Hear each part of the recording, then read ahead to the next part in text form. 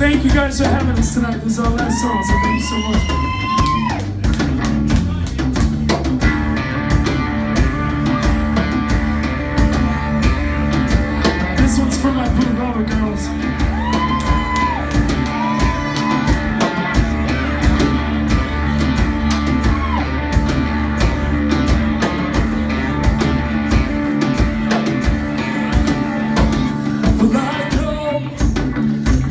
get away.